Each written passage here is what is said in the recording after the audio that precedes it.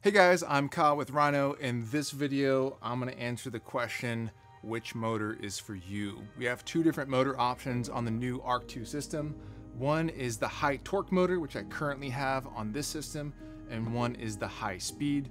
Both of them look the same from the outside, but there's a sticker on the bottom with the serial number and also the model number so you can tell which is which.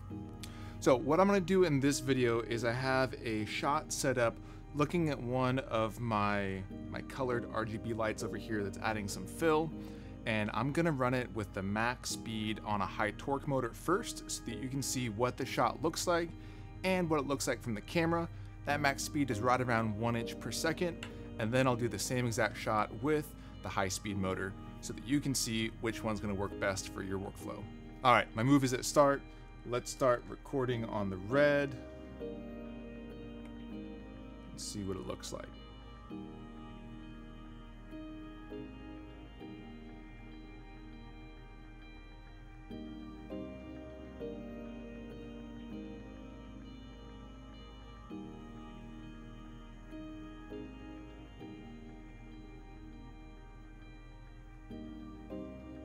All right, I'm gonna swap the motor out for the high speed and you can see the speed difference.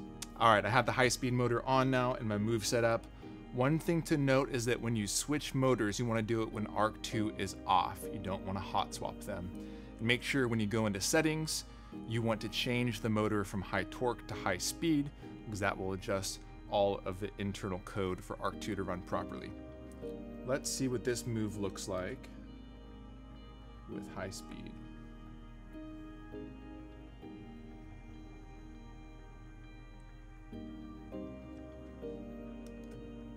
All right, so it's a lot faster.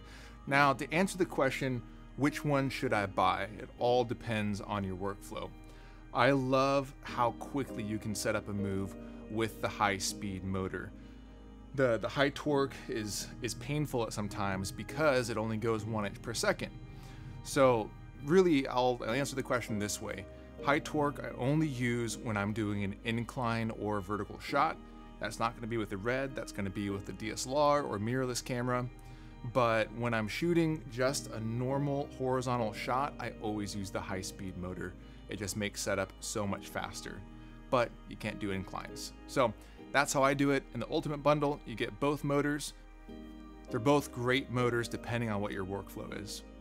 If you have any questions at all about which motor you should buy or the ARC 2 system in general, please watch our other videos or reach out to support at rhinocg.com.